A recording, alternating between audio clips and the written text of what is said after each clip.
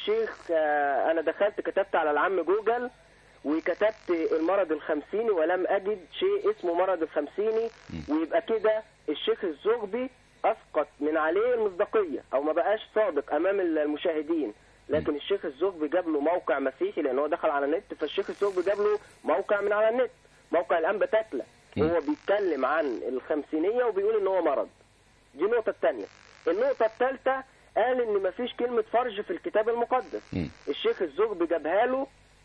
طبعا إحنا بنكتب ورا الشيخ الزغبي كل شيء فهو جابها له في سفر إشعياء 36 3 ترجمة الكاثوليك. انت أنت متابع يا أستاذ معاذ معانا كل الحلقات؟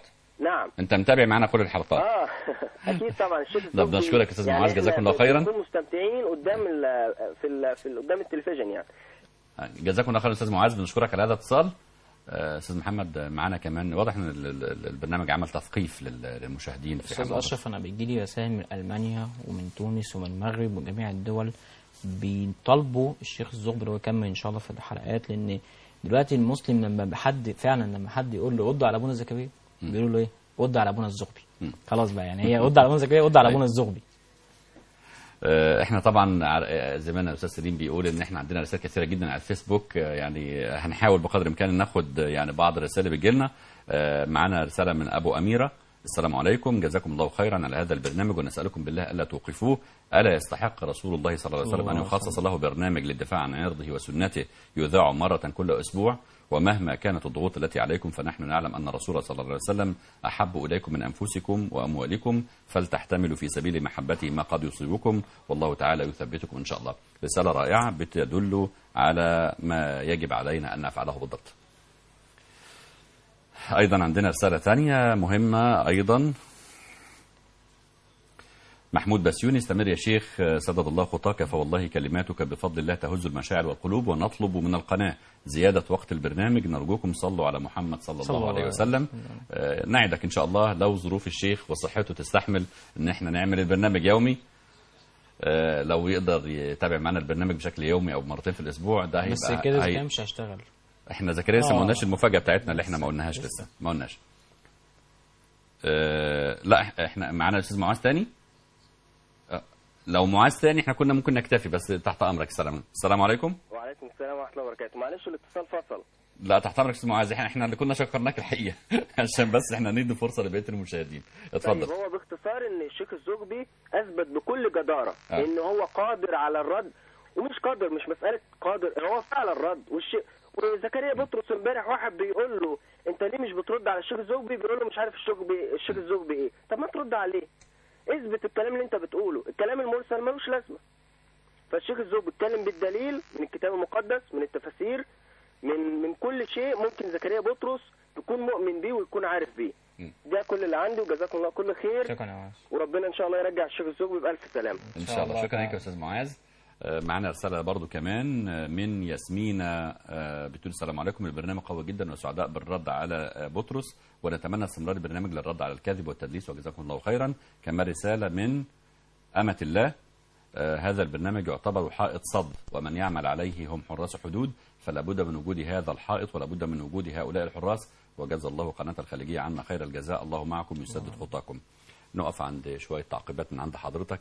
ديت إحنا بنقرأ شوية حاجات لكن بالتأكيد ما لديك أكثر فيما يتعلق بمتابعتك أستاذ محمد للمواقع وأيضا الصحف ال- عبر المواقع وحتى صحف المطبع بالنسبة لظاهره زكريا بطرس زي ما اتكلمنا وبالنسبة لاضواء واصداء أول ما بدأ برنامج اضواء واصداء الناس فعلا تبنت الموضوع إن هي يعني الناس كانت فرحانة إن الحلقة مستمرة. يعني مش حلقة كل كام شهر نعمل حلقة وخلاص اتمنى ودينا لأ كان زي ما قلت لحضرتك بيعتبر أول برنامج منظم يرد على افتراءات زكريا بطرس يتبناه الشيخ محمد الزغبي.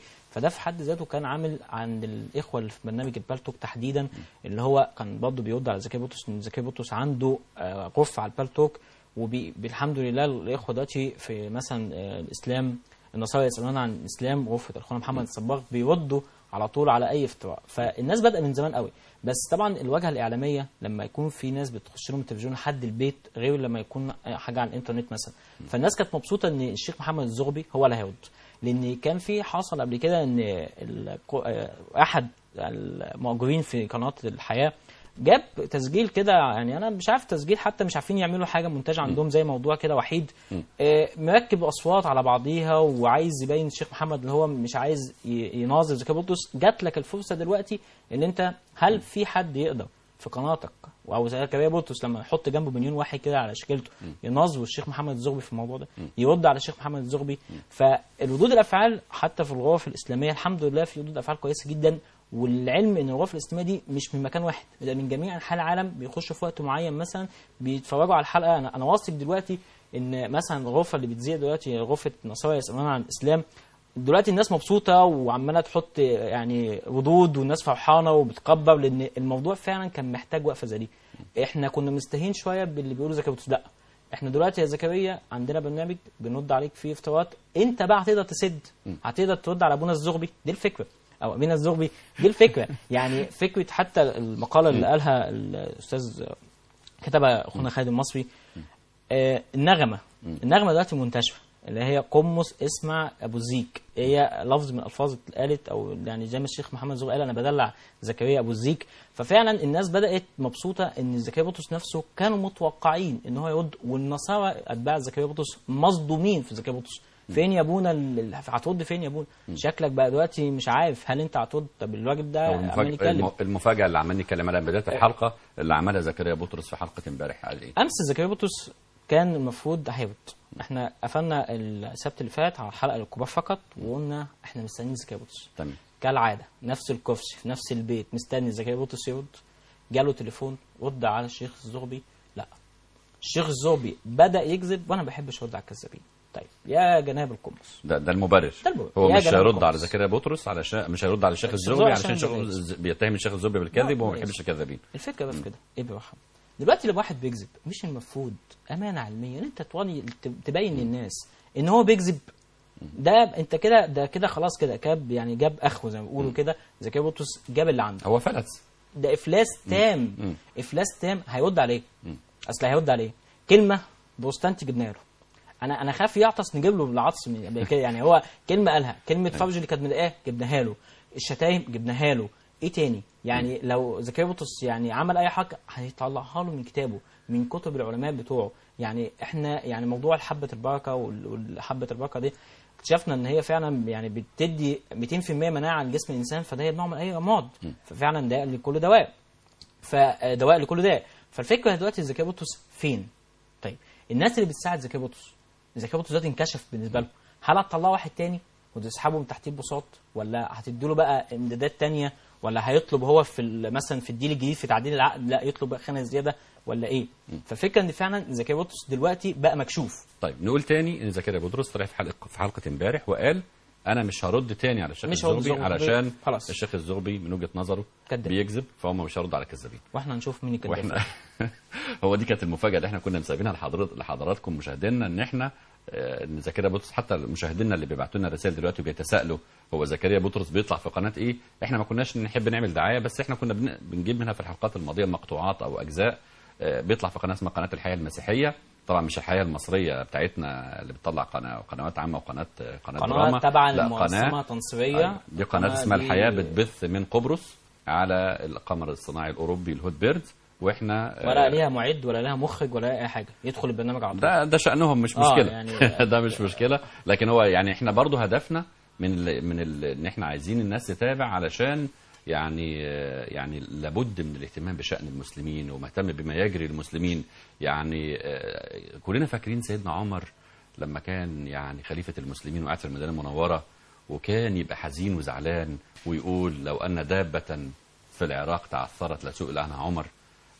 ففكرة إن إحنا يبقى مسلمين وساكتين وأي حاجة بتحصل مثلا في الشيشان أو حاجة بتحصل في السودان أو حاجة بتحصل في موريتانيا أو حاجة بتحصل في في أمريكا ولا في قبرص ولا في فرنسا ولا في أي دولة وإحنا يعني آه، الدنيا ماشية والاهلي والزمالك بيلعبوا والدنيا جميلة يعني. آه كل حاجة جميلة والاهلي والزمالك عملوا ماتش حلو زي ما بيقولوا وإحنا اتفرجنا. لكن كمان نهتم بشأن المسلمين. من لم يهتم بأمر المسلمين فليس منهم.